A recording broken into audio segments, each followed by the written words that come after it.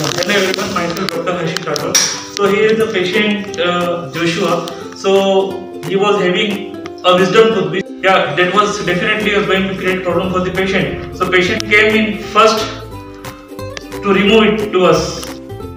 So here you may listen to patient experience. I'm Joshua and uh, the procedure was completely painless. Uh, it was a molar tooth tooth removal. So it was uh, kind of bothering me a bit in the beginning. Uh, so I came and I uh, asked the doctor that uh, what should be done, and uh, he was kind enough to tell me that. Uh, since it's a beginning stage, it's better to get it removed, else it will create a problem in the other tooth as well.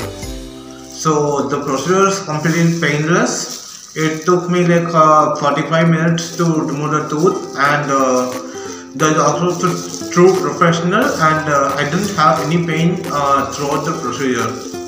Uh, sorry if my voice is like this because uh, I had a mild anesthesia, so I uh, haven't received any pain throughout the procedure. And uh, the doctor is a true professional. I completely recommend him.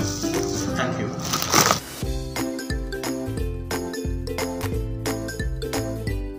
subscribe like and share thank you